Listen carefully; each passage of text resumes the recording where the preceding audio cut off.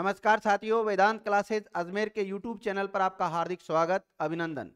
विद्यार्थियों, आज हम चर्चा करेंगे 25 दिसंबर 2023 से रिलेटेड जो भी करंट फैक्ट बनते हैं उसके ऊपर। इसके ऊपर चर्चा करेंगे, करंट अफेयर्स के ऊपर चर्चा करेंगे और साथ ही में हम स्टेटिक पॉइंट भी जानेंगे, करंट अफेयर्स के साथ जो जुड़े हुए हैं उन्हीं को देखेंगे ना? तो आज का जो पहला फैक्ट है, वो ये है कि हाल ही में 23 दिसंबर को राष्ट्रीय किसान दिवस मनाया गया। तो राष्ट्रीय किसान दिवस प्रतिवर्ष कब मनाया जाता है? 23 दिसंबर को मनाया जाता है। और इस दिन किसकी जयंती होती है? तो चौधरी चरण सिंह जी की जयंती होती है, विद्यार्थियों। देखिए, ये दिवस चौधरी चरण सिंह जी की जयंती पर मनाया जाता है। चौधरी चरण सिंह जी थे कौन? तो भारत के पाँचवें नंबर के प्रधानमंत्री थे और 28 जुलाई 1979 से लेकर 14 जनवरी 1980 तक ये भारत के प्रधानमंत्री रहे थे विद्यार्थियों। प्राइम मिनिस्टर रह चुके हैं भारत के चौधरी चरण सिंह जी। चौधरी चरण सिंह जी का जो जन्म है, वो 1902 में हुआ था और इनका जन्म हुआ उत्तर प्रदेश में। कहाँ पर हुआ? उत्तर प्रदेश में और उत्तर प्रदेश में पूछा जाए तो मेरठ ज़िले में हुआ था, नूरपुर में। कहाँ पर? नूरपुर नामक स्थान पर इनका जन्म हुआ था। इन्होंने विद्यार्थियों, किसानों के हित में काफ़ी कार्य किया था। किसानों के जो हित में नीतियाँ लेके आए थे। किसानों के कल्याण की दिशा में इन्होंने कई कदम उठाए थे। और इस बार जो इनकी जयंती पर ये दिवस मनाया गया विद्यार्थियों, किसान दिवस। तो इसकी थीम क्या थी? तो इसकी थीम थी delivering smart solution for sustainable food security and resilience. इस बार की इसकी थीम है तो थीम का भी आपको पता होना चाहिए, क्योंकि जब भी कोई डे आता है और डे अगर इंपॉर्टेंट है तो वहाँ से थीम का भी कोई पर्सन बनने की पूरी संभावना रहती है। आगे देखो, थोड़ा और जान लेते हैं। कुछ महापुरुष है जिनकी पुण्यतिथियों पर और उनकी जयंतियों के अवसर पर कौन कौन से इंपोर्टेंट दिवस मनाए जाते हैं तो इनको भी जान लेते हैं। क्योंकि डे से रिलेटेड है विद्यार्थी ये भी। तो 12 जनवरी को कौन सा दिवस मनाया जाता है? तो 12 जनवरी को राष्ट्रीय युवा दिवस मनाया जाता है। कौन सा राष्ट्रीय युवा दिवस मनाया जाता है और वो किसकी जयंती पर मनाते हैं विद्यार्थियों? तो स्वामी विवेकानंद जी की जयंती पर मनाते हैं। इसी प्रकार 23 जनवरी को कौन सा दिवस मनाया जाता है? तो पराक्रम दिवस मनाया जाता है। ये सुभाष चंद्र बोस जी की जयंती होती है उस दिन। और 24 जनवरी को जो मनाते हैं, वो राष्ट्रीय बालिका दिवस मनाते हैं, क्योंकि इस दिन इंदिरा गांधी ने 1966 में प्रधानमंत्री के रूप में शपथ ली थी। इंदिरा गांधी का नाम तो आपने सुना ही है। इंदिरा गांधी कौन थी? तो ये भारत की प्रथम महिला प्रधानमंत्री थी। आयरन लेडी के नाम से इनको जाना जाता है, विद्यार्थियों। आगे बात करें 30 जनवरी को कौन सा मनाया जाता है? तो शहीद दिवस मनाया जाता है। तो शहीद दिवस कब मनाया जाता है? विद्यार्थियों, एक तो 30 जनवरी को मनाया जाता है। महात्मा गांधी की उस दिन पुण्यतिथि होती है इसलिए। और 11 फरवरी को कौन सा दिवस मनाया जाता है? तो 11 फरवरी को मनाया जाता है समर्पण दिवस, क्योंकि इस दिन पंडित दीनदयाल उपाध्याय की पुण्यतिथि होती है इसलिए। इसी प्रकार 21 मई को भी एक इंपोर्टेंट दिवस मनाया जाता है, राष्ट्रीय आतंकवाद विरोधी दिवस, क्योंकि भारत के पूर्व जो प्रधानमंत्री थे राजीव गांधी जी, उनकी पुण्यतिथि के अवसर पर यह मनाया जाता है। 20 अगस्त को कौन सा दिवस मनाया जाता है? तो सद्भावना दिवस मनाया जाता है और किसकी जयंती होती है इस दिन? पूर्व प्रधानमंत्री राजीव गांधी जी की जयंती होती है इस दिन भी। अगला जो डे है 29 अगस्त तो 29 अगस्त को राष्ट्रीय खेल दिवस मनाया जाता है। मेजर ध्यानचंद की जयंती होती है। मेजर ध्यानचंद का संबंध कौन से गेम से रहा विद्यार्थियों? तो हॉकी से रहा है। किससे रहा है? हॉकी से रहा है। और खेल के क्षेत्र में जो सबसे बड़ा पुरस्कार दिया जाता है, सर्वोच्च जो पुरस्कार होता है, उसका नाम क्या होता है? कमेंट करके बता दीजिए जल्दी, विद्यार्थियों। पाँच सितंबर को राष्ट्रीय शिक्षक दिवस मनाया जाता है और ये किसके मतलब जयंती पर मनाया जाता है? तो डॉक्टर सर्वपल्ली राधाकृष्ण की जयंती पर मनाया जाता है, जिनको भारत रत्न भी मिल चुका है, जो कि एक महान शिक्षक भी थे। और 15 सितंबर को जो मनाया जाता है, वो राष्ट्रीय इंजीनियर्स दिवस मनाया जाता है। भारत रत्न एम विश्वेश्वरैया की जयंती पर ये मनाया जाता है। एम का जो पूरा नाम मिलता है, यहाँ पे मोक्ष गुंडकम विश्वेश्वरैया, उनकी जयंती पर मनाया जाता है। इसी प्रकार 25 सितंबर को कौन सा दिवस मनाया जाता है? तो अंत्योदय दिवस मनाया जाता है। ये पंडित दीनदयाल उपाध्याय की जयंती पर मनाया जाता है विद्यार्थियों। इसी प्रकार दो अक्टूबर को आप जानते हैं, अंतर्राष्ट्रीय अहिंसा दिवस मनाया जाता है। इस दिन महात्मा गांधी जी की जयंती होती है। और 15 अक्टूबर को कौन सा मनाया जाता है? तो विश्व छात्र दिवस डॉक्टर एपीजे अब्दुल कलाम की जयंती होती है। Doctor APJ Abdul Kalam missile man के नाम से जाने जाते हैं। भारत के पहले जो इंजीनियर क्षेत्र से पीएम राष्ट्रपति बने, वो कौन बने थे? डॉक्टर एपीजे अब्दुल कलाम बने थे विद्यार्थियों। और इकतीस अक्टूबर को कौन सा मनाया जाता है? तो राष्ट्रीय एकता दिवस मनाया जाता है। इस दिन सरदार वल्लभ भाई पटेल, जिनको विद्यार्थियों लोह पुरुष के नाम से भी जाना जाता है आयरन मैन के नाम से जाना जाता है, उनकी जयंती होती है। इस दिन कब होती है? इकतीस अक्टूबर के दिन होती है विद्यार्थियों। और सरदार वल्लभ भाई पटेल की, जो सबसे ऊँची प्रतिमा, विश्व की सबसे ऊँची प्रतिमा इन्हीं की है तो स्टेच्यू ऑफ़ यूनिटी कहते हैं। और वो कहाँ पर है? गुजरात में है। कहाँ पर है? गुजरात में है, केवड़िया, गुजरात में। और देखिए, विद्यार्थियों, चौदह नवंबर को कौन सा इंपोर्टेंट दिवस मनाया जाता है? तो बाल दिवस मनाया जाता है। भारत के पहले प्रधानमंत्री चाचा नेहरू, जवाहरलाल नेहरू, इनकी जयंती पर मनाया जाता है और तेईस दिसंबर को कौन सा मनाया जाता है? राष्ट्रीय किसान दिवस, जो कि भारत के पूर्व प्रधानमंत्री चौधरी चरण सिंह जी की जयंती के अवसर पर मनाया जाता है और 25 दिसंबर को इंपोर्टेंट विद्यार्थियों, कौन सा दिवस मनाया जाता है? सुशासन दिवस मनाया जाता है, जो कि पूर्व प्रधानमंत्री अटल बिहारी वाजपेयी, उनकी जयंती होती विद्यार्थियों, इस पर मनाया जाता है सुशासन दिवस। और सुशासन दिवस को कल वाले वीडियो में हम बड़ा डिटेल से ले लेंगे और देख लेंगे इसको। अगला फैक्ट है कि हाल ही में साक्षी मलिक कुश्ती महासंघ के नए प्रमुख के चुनाव के बाद कुश्ती से संन्यास लेने की घोषणा कर दी है। ये विद्यार्थी आपको जो दिखाई दे रही है, ये कुश्ती पहलवान है, महिला कुश्ती पहलवान है। इन्होंने अभी संन्यास लेने की घोषणा कर दी है, क्योंकि क्या हुआ? ब्रजभूषण जो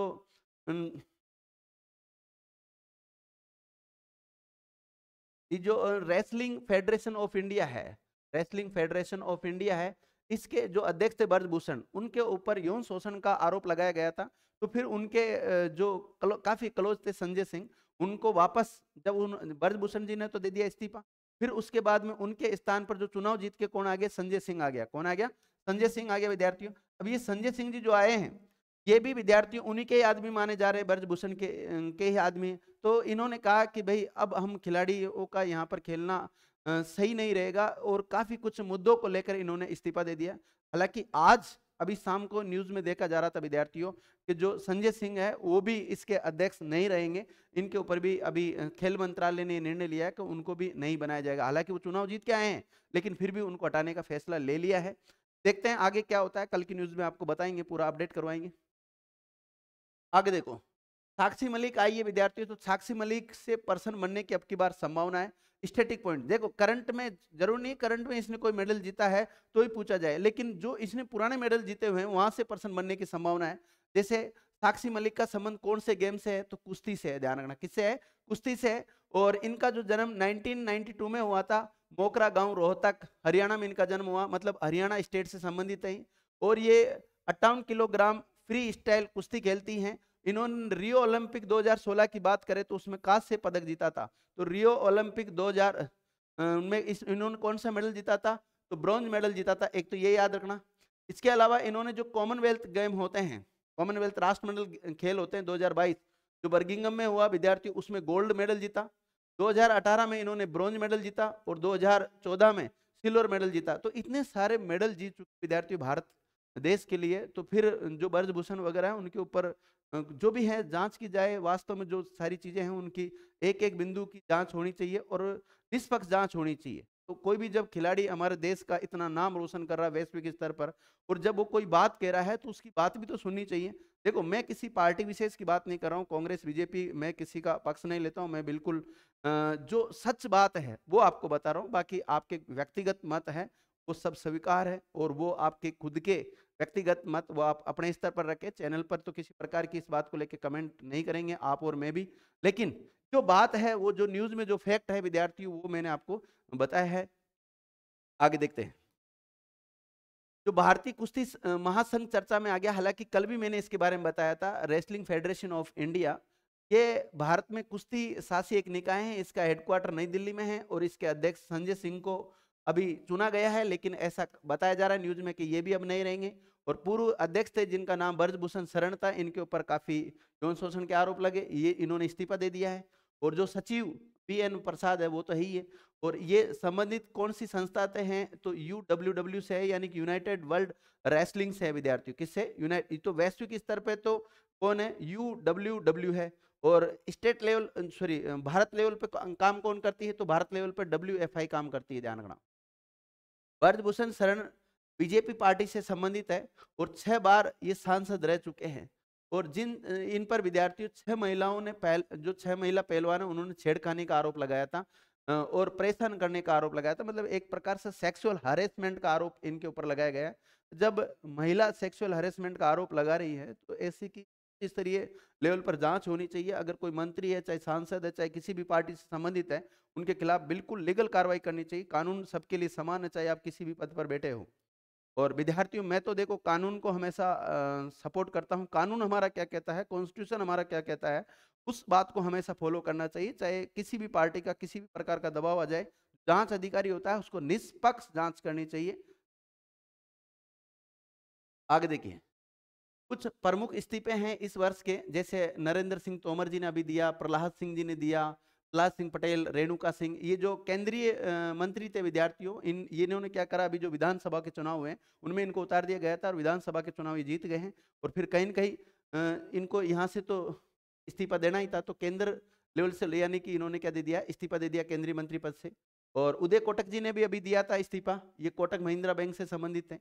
और अनंत माहेश्वरी ने भी इस्तीफा दिया था। माइक्रोसॉफ्ट इंडिया के अध्यक्ष थे, इन्होंने दे दिया। दीपक पारेख ने भी इस्तीफा दिया था, जो कि छियालीस साल के बाद एच बैंक के चेयरमैन पद से इन्होंने दिया है और किरण रिज्जू ने भी इस्तीफा दे दिया है, जो कि केंद्रीय कानून मंत्री थे विद्यार्थी अगला फैक्ट है कि हाल ही में रुई किस्यांग झांग को गणित में शस्त्र रामानुज पुरस्कार 2023 दिया गया। तो शस्त्र रामानुज पुरस्कार किसको दिया गया, विद्यार्थियों? रुकिस्यांग झांग को दिया गया। हालाँकि मैंने बताया था आपको 22 अक्टूबर, सॉरी 22 दिसंबर 2023 को, जब गणित दिवस मनाया गया था तो उस समय भी, उस समय दिया गया बाईस दिसंबर को ही। हालाँकि इसकी घोषणा तो सितंबर में होगी थी, तीन महीने पहले हो गई थी। देखिए बाईस दिसंबर 2023 को राष्ट्रीय गणित दिवस मनाया जाता है तो कई बार ये भी पूछा जाता है कि राष्ट्रीय गणित दिवस कब मनाया जाता है? तो 22 दिसंबर को मनाया जाता है और इसी शुभ अवसर पर इनको ये शस्त्र रामानुज पुरस्कार दिया गया है। और रुई किस्यांग झांग एक गणितज्ञ हैं और अमेरिका के बर्कले में स्थित कैलिफ़ोर्निया यूनिवर्सिटी में एक असिस्टेंट प्रोफेसर विद्यार्थी, सहायक प्रोफेसर के पद पर है। और इस पुरस्कार में दस हज़ार यूएसए डॉलर दिया जाता है विद्यार्थियों। और ये पुरस्कार 32 वर्ष से कम उम्र के जो गणितज्ञ होते हैं, उन्हीं को दिया जाता है। ये श्रीनिवास रामानुजा की सम्मान में शुरू किया गया एक पुरस्कार है। अगर आपसे पूछा जाए, राष्ट्रीय गणित दिवस कब मनाया जाता है तो प्रतिवर्ष 22 दिसंबर को मनाया जाता है। ये मैं कवर करा चुका हूँ। और इसी प्रकार अंतर्राष्ट्रीय गणित दिवस कब मनाया जाता है? तो 14 मार्च को मनाया जाता है, विद्यार्थियों। क्या मनाया जाता है? 14 मार्च को मनाया जाता है। इसी प्रकार और कुछ इंपॉर्टेंट पुरस्कार है, इनको भी जान लेते हैं। जैसे शिव शंकरी जी को कौन सा पुरस्कार मिला? तो बत्तीसवा सरस्वती सम्मान 2022 दिया गया। पुष्पा भारती को कौन सा सम्मान मिला? तो तैतीसवा व्यास सम्मान 2023 और सी एस लक्ष्मी या अंबाई को कौन सा पुरस्कार मिला? Tata literature lifetime achievement award से इनको सम्मानित किया गया। सवाती नायक को नॉर्मल बोरलॉग फ़ील्ड अवार्ड 2023 ये सारे याद रखना विद्यार्थियों आप। इसी प्रकार जो पॉल लिंच है, उनको 2023 का बुकर पुरस्कार दिया गया और सफीना हुसैन को शिक्षा के लिए वाइस पुरस्कार दिया गया विद्यार्थी कौन सा? वाइस पुरस्कार दिया गया और जावेद अख्तर को पद्म पाणी लाइफ टाइम अचीवमेंट अवार्ड दिया गया। अगला फैक्ट है, हाल ही में भारतीय जूट निगम ने किसानों के लिए पाट मित्रो ऐप लॉन्च किया। तो विद्यार्थियों, कौन सा ऐप लॉन्च किया अभी हाल ही में भारतीय जूट निगम के द्वारा? तो पाट मित्रों, आपको दिखाई दे रहा है भारतीय पटसन निगम लिमिटेड भी कहते हैं इसको। क्या कहते हैं? भारतीय पटसन लिमिटेड या the jute corporation of India limited के द्वारा एक ऐप लॉन्च किया है और ऐप जो आपको इमेज दिखाई दे रही है, इसको देख लीजिए ढंग से। आगे देखो, कपड़ा मंत्री कौन है? भारत के अभी वर्तमान में केंद्रीय कपड़ा मंत्री कौन है? तो पीयूष गोयल जी है। कौन है? कपड़ा मंत्रालय के जो सचिव है रचना शाह ने लॉन्च किया इस ऐप को, जिसके अनुसार ये एप्लीकेशन जूट की खेती पर महत्वपूर्ण जानकारी प्रदान करता है। जूट ग्रेडेशन मापदंडों के अलावा ये ऐप जूट, आई केयर जैसी किसान केंद्रित योजनाओं, मौसम पूर्वानुमान और खरीद नीतियों पर जानकारी प्रदान करेगा। मतलब जूट से रिलेटेड ये काम करेगा विद्यार्थियों, चाहे वो खरीदने से संबंधित हो, चाहे खेती करने से संबंधित हो, जो भी सारी फैक्ट इसमें आ जाएँगे। इसी वर्ष विद्यार्थियों कुछ पोर्टल और कुछ ऐप चर्चा में रहे, इनके बारे में भी हम जान लेते हैं। जैसे पाठ मित्र ऐप तो बताया भारतीय जूट निगम के द्वारा, और कुछ अभी कल के वीडियो मैंने बताया था, N H A I E R S app. National highway authority of India के द्वारा इसको लॉन्च किया गया है। ये इसके बारे में बताया था। इसी प्रकार जो ग्राम मंच जी ऐप है, इसको पंचायती राज मंत्रालय के द्वारा शुरू किया गया और एम्पलीफाइड 2.0 पोर्टल, आवास एवं शहरी मामलों के मंत्रालय के द्वारा शुरू किया गया। A A I N A dashboard और सिटीज़ या आवास और शहरी मंत्रालय के द्वारा शुरू किया गया। इसी प्रकार एक होली अयोध्या ऐप भी शुरू किया गया था। मुख्यमंत्री आदित्य योगी आदित्यनाथ के द्वारा, यूपी के जो सीएम है, उनके द्वारा इसको शुरू किया गया। इसी प्रकार जो अपार आईडी कार्ड है, विद्यार्थी, वो शिक्षा मंत्रालय के द्वारा शुरू किया गया, सरपंच संवाद ऐप भी शुरू किया गया, असम के राज्यपाल के द्वारा। असम के राज्यपाल कौन है, आप कमेंट करके ज़रूर बताइएगा विद्यार्थियों। इसी प्रकार ये विद्यार्थी जो समुद्रा नामक ये ऐप लॉन्च किया गया है, इनको इस नाविकों के लिए इसको लॉन्च किया है।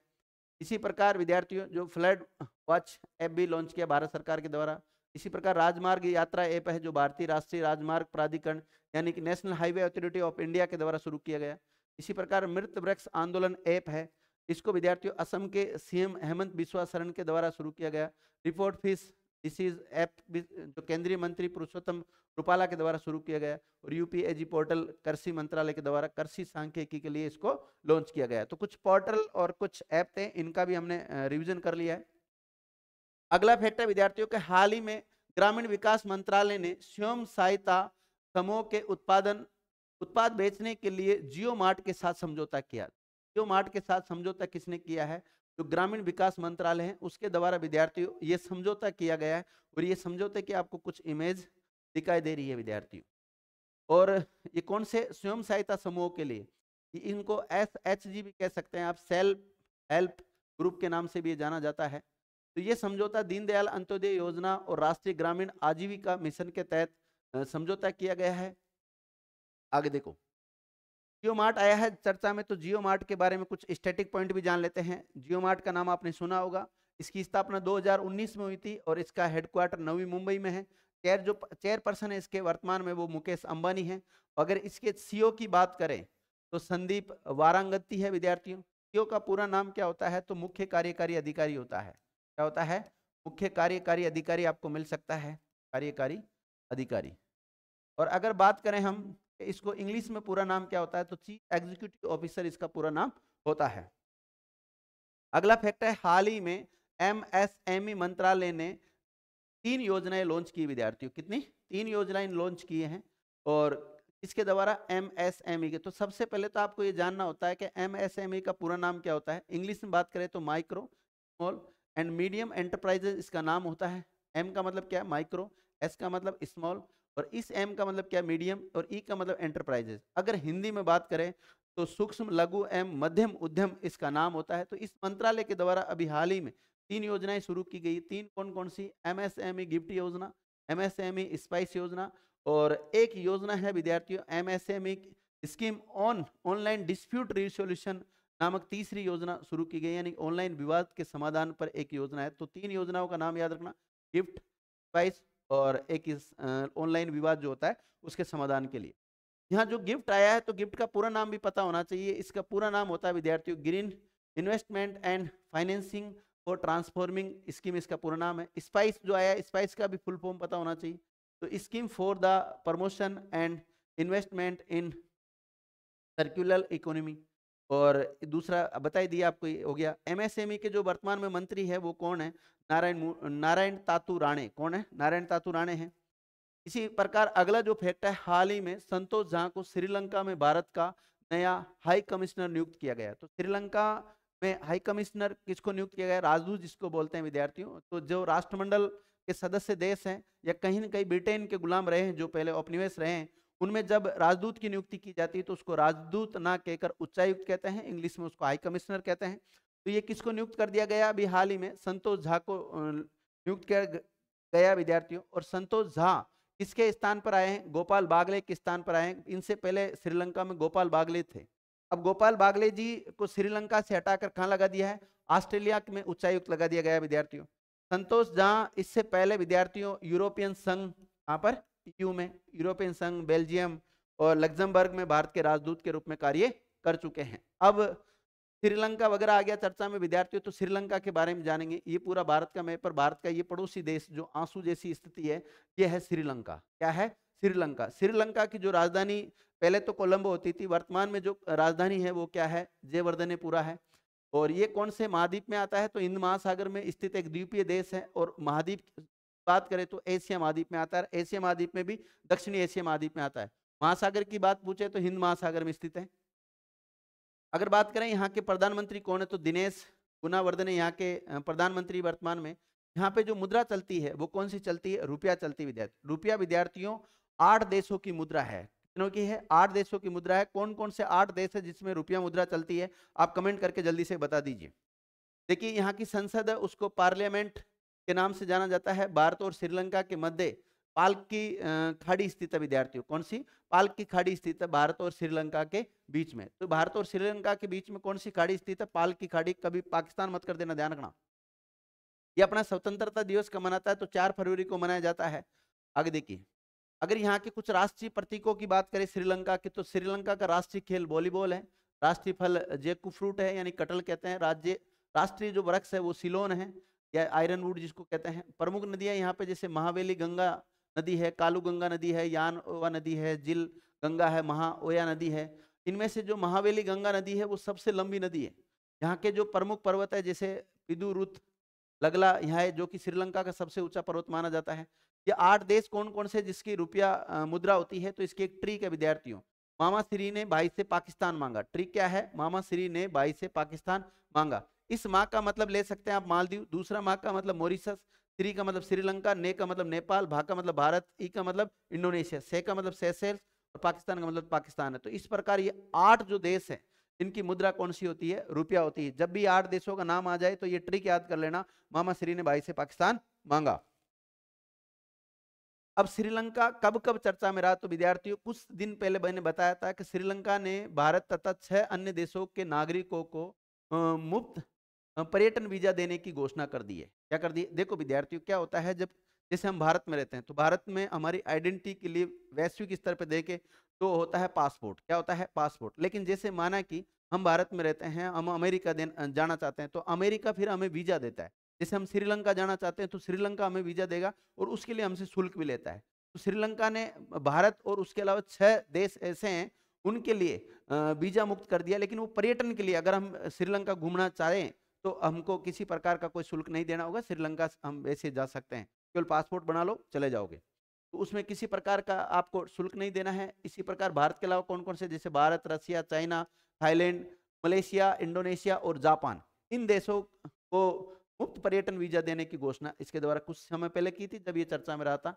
अब ऑस्ट्रेलिया भी चर्चा में आ गया विद्यार्थियों। ऑस्ट्रेलिया की राजधानी क्या कैनबरा। और ऑस्ट्रेलिया डॉलर यहाँ की मुद्रा होती है, यहाँ की संसद को पार्लियामेंट के नाम से जानते हैं और यहाँ के जो वर्तमान में प्रधानमंत्री है, उनका नाम क्या है? Anthony Albanese. कौन है? एंथनी अल्बनीज है और ये कौन से महाद्वीप में आता है? ऑस्ट्रेलिया देश तो ऑस्ट्रेलिया महाद्वीप में आता है और ऑस्ट्रेलिया महाद्वीप विश्व का सबसे छोटा महाद्वीप है। वर्तमान महाद्वीपों की संख्या आठ है और आठवें नंबर का जो महाद्वीप बना वो कौन सा बना? जीलैंडिया। कौन सा बना? जीलैंडिया। जो न्यूजीलैंड वाला पार्ट है वो, क्योंकि न्यूजीलैंड ही उसमें स्थल रूप में बाहर निकल रहा है, छह प्रतिशत निकल रहा है, बाकी चौरानवे प्रतिशत भाग जीलैंडिया महाद्वीप का जल में जलमग्न है विद्यार्थियों। इसी प्रकार कुछ प्रमुख राजदूत और हाई कमिश्नर दे रखे हैं। एक तरफ़ तो राजदूत या हाई कमिश्नर का नाम है और एक तरफ़ किस देश में उनको नियुक्त कर रखा है वो, जैसे अभी संतोष झा को कहाँ नियुक्त किया गया श्रीलंका में किया गया विद्यार्थियों। रॉबर्ट सेट किंटोंग को कहाँ पर? मोजाम्बिक में और सौरभ कुमार को बेल्जियम में और मर्दुल कुमार को लिक्टेस्टीन में सुमित सेठ को, निकारागुआ और विदु समकाल को बोलीविया में और इरशाद अहमद को विद्यार्थियों सीरिया में किया गया नियुक्त। ये कुछ दिनों पहले नियुक्तियाँ हैं तो ये सारी नियुक्तियाँ हम देख रहे हैं। प्रभात कुमार को दक्षिण अफ्रीका में और नाम्या खम्या को सोमालिया में और संदीप चक्रवर्ती को इंडोनेशिया में और तरणजीत सिंह संधू कहाँ पर? भारत के राजदूत है तो अमेरिका में, यूएसए में है। कहाँ पर है? यूएसए में। यूएसए की राजधानी वाशिंगटन डीसी होती है। यूएसए के वर्तमान में जो राष्ट्रपति है, वो कौन है और कौन से नंबर के कमेंट करके बताओ विद्यार्थी। देखो, आगे देखते हैं, हाल ही में बेंगलुरु हवाई अड्डा, जिसको कैंप, कैंपेगोडा इंटरनेशनल एयरपोर्ट के नाम से भी जानते हैं, उसका जो टर्मिनल टू है या टी टू बोल सकते हैं उसको, टी टू को यूनेस्को के सबसे खूबसूरत हवाई अड्डों में मान्यता दी गई है। तो विद्यार्थियों, ये मान्यता किसके द्वारा दी गई है? यूनेस्को के द्वारा। और आपको ये इमेज में दिखाई दे रहा है, ये किसी होटल का नहीं है। ये कहाँ का, ये खूबसूरत नज़ारा कहाँ का नज़र आ रहा है विद्यार्थियों? तो बेंगलुरु का जो एयरपोर्ट है, जिसको कैंपेगौड़ा एयरपोर्ट के नाम से जाना जाता है, क्योंकि बेंगलुरु के जो संस्थापक है, वो कैंपेगौड़ा को माना जाता है। किसको माना जाता है? कैंपेगौड़ा को माना जाता है। तो उन्हीं के सम्मान में इस एयरपोर्ट का नाम भी क्या कर दिया गया? Kempegowda international airport. आपसे पूछा जाए, राजीव गांधी इंटरनेशनल एयरपोर्ट कहाँ है? इंदिरा गांधी इंटरनेशनल एयरपोर्ट कहाँ है? राजीव गांधी और इंदिरा गांधी, दोनों कहाँ? कमेंट करके बता दो विद्यार्थी। आगे देखो। बेंगलुरु के कैंपेगोड़ा अंतर्राष्ट्रीय हवाई अड्डे के टर्मिनल टू को यूनेस्को के प्रेक्सी वर्सेल्स 2023 में वैश्विक प्रशंसा मिली, जिसे दुनिया के सबसे खूबसूरत हवाई अड्डों में से एक माना गया बिल्कुल बता दिया। ये इतनी सम्मानित मान्यता प्राप्त करने वाला एकमात्र भारत का हवाई अड्डा बन गया विद्यार्थियों। आज तक भारत के किसी भी हवाई अड्डे को ऐसा सम्मान यूनेस्को के द्वारा नहीं दिया गया है। तो ऐसा सम्मान पाने वाला एकमात्र भारतीय हवाई अड्डा है आगे देखो। अब विद्यार्थियों, कौन सा देश चर्चा में आ गया या कौन सा स्टेट चर्चा में आ गया तो इस स्टेट का नाम है कर्नाटक। कौन सा है? कर्नाटक। आपको इमेज में जो दिखाई इसमें मैप में जो दिखाई दे रहा है, ये है कर्नाटक। ये क्या है विद्यार्थियों? कर्नाटक है। तो कर्नाटक इधर तो अपनी जो सीमा लगाता है, वो किसके साथ लगाता है? महाराष्ट्र के साथ लगाता है। किसके साथ लगाता है? महाराष्ट्र के साथ सीमा लगाता है। और यहाँ छोटा सा क्या गोवा। यहाँ क्या है? गोवा। और ये क्या है विद्यार्थी? ये है तेलंगाना। ये क्या है? तेलंगाना है। और ये जो फैला हुआ है, ये है आंध्र प्रदेश। ये क्या है? आंध्र प्रदेश। और इधर आ जाता है तमिलनाडु। तो तमिलनाडु भी इसके साथ सीमा लगाता है। और नीचे की तरफ़ ये जो फैला हुआ है, ये केरला है। क्या है? केरला फैला हुआ है। तो अभी देखते हैं ये किस किस के साथ सीमा साझा करता है। लिखा हुआ पूरा। इसकी स्थापना एक नवंबर उन्नीस सौ छप्पन को हुई थी। इससे कर्नाटक प्रतिवर्ष एक नवंबर को अपना स्थापना दिवस मनाता है। और वर्तमान में यहाँ की जो राजधानी है, वो क्या है? बेंगलुरु है। और बेंगलुरु के संस्थापक कौन है? कैंपेगौड़ा बेंगलुरु को विद्यार्थियों इलेक्ट्रिक, इलेक्ट्रॉनिक सिटी के नाम से भी जाना जाता है। और ये सीमा किस किस के साथ साझा करता अभी मैंने बताया था आपको। किस किस के साथ? महाराष्ट्र, गोवा, केरल, तमिलनाडु, आंध्र प्रदेश और तेलंगाना के साथ। वर्तमान में यहाँ के जो सीएम है, वो सिद्धरामैया है। कांग्रेस पार्टी से संबंधित है। राज्यपाल थावरचंद गहलोत जी है, जो कि 6 जुलाई 2021 से पद पर पदस्थापित है। और वर्तमान में यहाँ से लोकसभा की सीटें अट्ठाईस जाती है, राज्यसभा की सीटें बारह जाती है। यहाँ विधानसभा की बात करें तो 224 है। यहाँ विद्यार्थियों, यहाँ का जो विधानमंडल है वो दीव सदनात्मक है। कौन से, आपको ट्रिक बताई थी मैंने? टी। कौन सी? यानी कर्नाटक, यूपी, महाराष्ट्र, बिहार, आंध्र प्रदेश और तेलंगाना। ये छह राज्य आ जाए तो यहाँ का जो विधानमंडल होता है वो दीव सदनात्मक होता है। अर्थात यहाँ विधानसभा के अलावा विधान परिषद भी पाई जाती है। तो यहाँ की जो विधान परिषद सीट है वो कितनी है? सेवेंटी फाइव है। यहाँ का जो राज्य पशु है वो भारतीय हाथी और राज्य पक्षी, भारतीय रोलर और राज्य वृक्ष चंदन है और राज्य पुष्प कमल है। यहाँ की जो राजभाषा और सर्वाधिक बोली जाने वाली जो भाषा है वो कन्नड़ है और यहाँ का जो महान अक्षर होता है वो के ए होता है।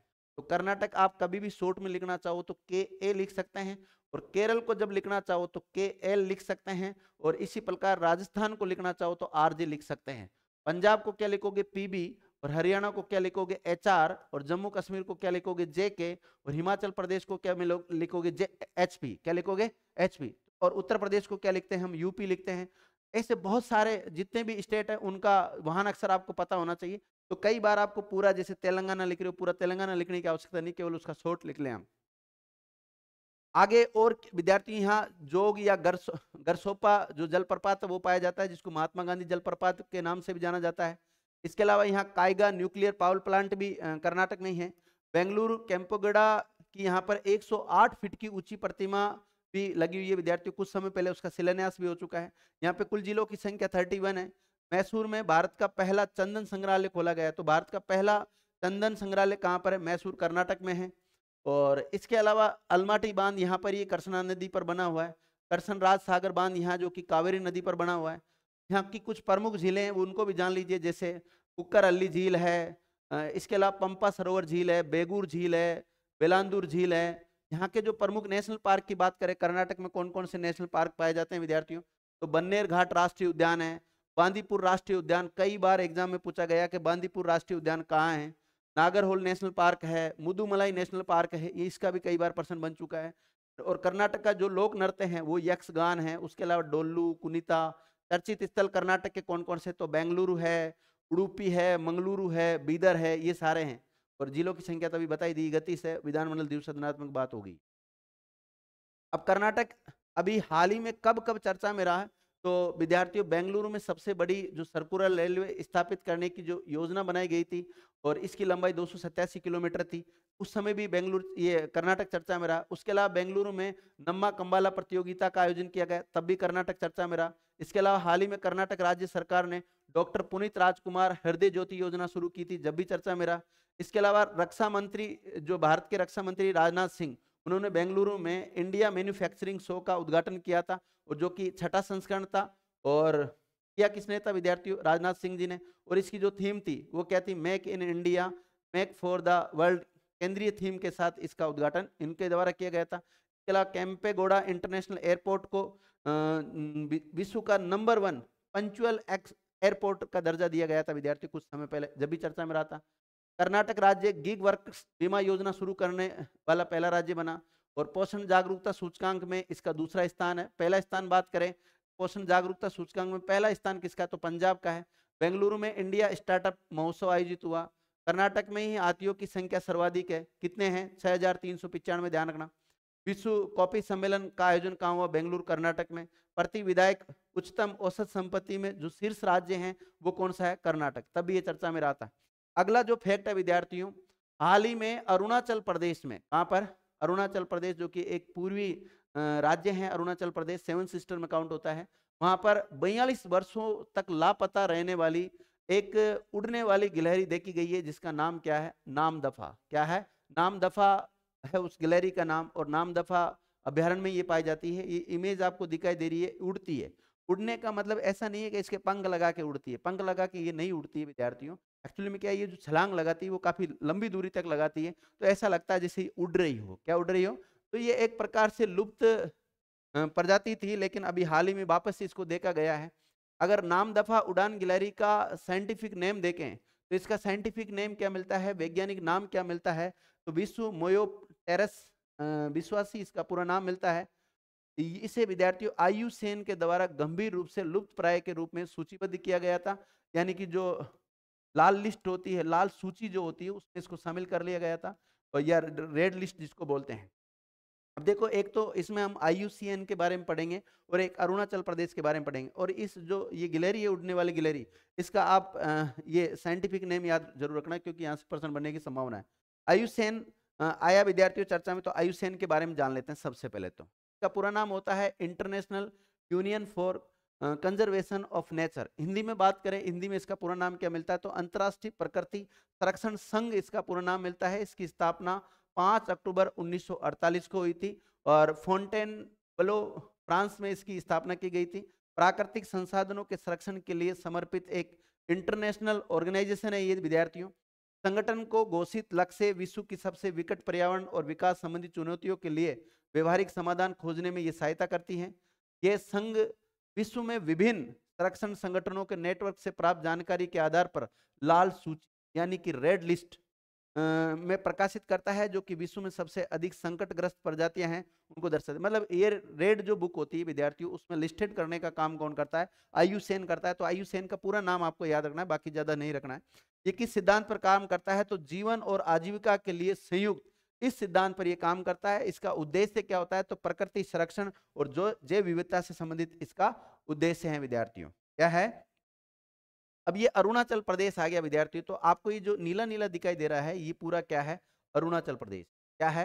अरुणाचल प्रदेश है तो अरुणाचल प्रदेश देखो अपनी सीमा किस किस के साथ साझा कर रहा है? एक तो भूटान देश के साथ साझा कर रहा है और बीच में ये जो रेड रेड दिखाई दे रहा है ना आपको, ये है विद्यार्थियों क्या है? असम। तो असम के साथ साझा कर रहा है और इसी प्रकार नागालैंड, ये जो येलो सॉरी, ये जो दिखाई दे रहा है आपको रेड, ये है नागालैंड तो इसके साथ सीमा साझा करता है। आगे देखते हैं अरुणाचल प्रदेश, ये पहले विद्यार्थी केंद्र शासित प्रदेश घोषित किया गया था, इसको 21 जनवरी उन्नीस को, बाद में पूर्णतः भारतीय राज्य में इसको शामिल किया गया 20 फरवरी उन्नीस को। अगर अरुणाचल प्रदेश की बात करें तो अरुणाचल प्रदेश की जो राजधानी है वो है ईटानगर, क्या है? ईटानगर है, यहाँ के जो वर्तमान में सीएम है उनका नाम पेमा खांडू है, जो कि भाजपा पार्टी से संबंधित है। यहाँ के जो राज्यपाल है, वो रिटायर्ड लेफ्टिनेंट जनरल केवल त्रिविक्रम प्रणाइम है विद्यार्थियों। और यहाँ से लोकसभा की सीटें दो जाती हैं, राज्यसभा की सीट एक जाती है और यहाँ विधानसभा की जो सीटें हैं, उनकी बात करें तो साठ है। ये भारत का सबसे पूर्वी राज्य माना जाता है। यहाँ का जो राज्य पशु गायल होता है, जिसको मिथुन भी कहते हैं, राज्य पक्षी विसार, हॉर्नबिल या ग्रेट हॉर्नबिल कहते हैं। राज्य वृक्ष की बात करें तो हालोंग और राज्य पुष्प की बात करें तो कुंगुपलई। राजभाषा यहाँ की अंग्रेज़ी है। और गुवाहाटी हाईकोर्ट यहाँ लगता है विद्यार्थियों, और अब मुझे बता दीजिए, गुवाहाटी हाईकोर्ट गुवाहाटी नामक स्थान है कहाँ पर? असम में, और गुवाहाटी हाईकोर्ट के वर्तमान में चीफ जस्टिस कौन है, बता दीजिए। देखिए, वर्तमान में हाईकोर्ट की जो संख्या है, वो 25 है, और 25वें नंबर का जो हाईकोर्ट बना था वो अमरावती हाईकोर्ट बना था देखिए, अगर आपको याद है हाईकोर्ट के चीफ जस्टिस के नाम तो सभी हाईकोर्ट के नाम आप लिखें, और उनके जो चीफ जस्टिस हैं, उनके नाम भी आप लिख दें, रिकॉल कर लें विद्यार्थियों आप सभी। ये जो सीमा साझा करता है वो असम, नागालैंड, इनके साथ सीमा साझा करता है। वाहन अक्षर की बात करें तो यहाँ का ए आर वाहन अक्षर होता है। क्या लिखते हैं इसको शॉर्ट में? ए आर लिखेंगे। अरुणाचल प्रदेश जब भी आप लिखे तो ए आर लिख सकते हैं और ए आर लिखा मिलेगा आपको वाहनों के आगे पीछे। और आंध्र प्रदेश में क्या लिखा रहता है तो एपी आंध्र प्रदेश के मामले में क्या लिखा है? एपी और अरुणाचल प्रदेश को क्या लिख सकते हैं आप? ए आर लिख सकते हैं। इसी प्रकार अरुणाचल प्रदेश 2011 की जनगणना के अनुसार विद्यार्थी सबसे कम जनसंख्या घनत्व वाला राज्य भी है।